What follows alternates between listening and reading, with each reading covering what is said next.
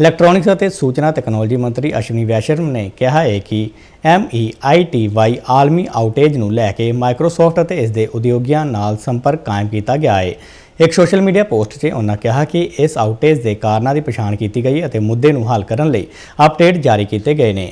ਉਹਨਾਂ ਕਿਹਾ ਕਿ CERT ਇੱਕ ਤਕਨੀਕੀ ਸਲਾਹ ਵੀ ਇਸ ਮਾਮਲੇ ਵਿੱਚ ਜਾਰੀ ਕਰ ਰਿਹਾ ਹੈ। ਕੇਂਦਰੀ ਮੰਤਰੀ ਨੇ ਸਪਸ਼ਟ ਕੀਤਾ ਕਿ ਇਸ ਔਖੀ ਘੜੀ 'ਚ NIC ਨੈਟਵਰਕ ਬਿਨਾਂ ਕਿਸੇ ਰੁਕਾਵਟ ਦੇ ਕੰਮ ਕਰ ਰਿਹਾ ਹੈ।